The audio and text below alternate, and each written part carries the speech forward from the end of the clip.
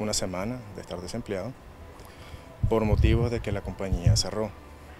Yo no fui básicamente despedido por lo que hicimos nada malo, sino que la compañía, por la situación, este, llegó a terminar para, para mandarla a otro país, básicamente por la situación. Ahora en un futuro, quién sabe, a lo mejor regresa, a lo mejor no. Pero por el momento eh, la compañía sigue ahí por cuanto eh, hay unas cuantas compañías que todavía están todavía trabajando ahí. Pero la donde yo trabajaba, este, unas cuantas compañías ya desafortunadamente desaparecieron.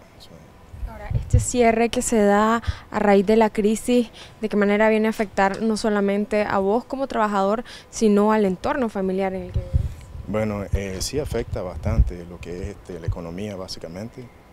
La economía, eh, mi forma de ser como persona, sentí que no fue básicamente como eh, agradecido básicamente todo lo que se hizo, porque aún con los tranques y todas las cosas así, pues nosotros nunca fallamos. Pero eh, se le agradece por la oportunidad, la oportunidad básicamente que nos dio hasta el momento, porque yo di mis buenos años ahí en la compañía.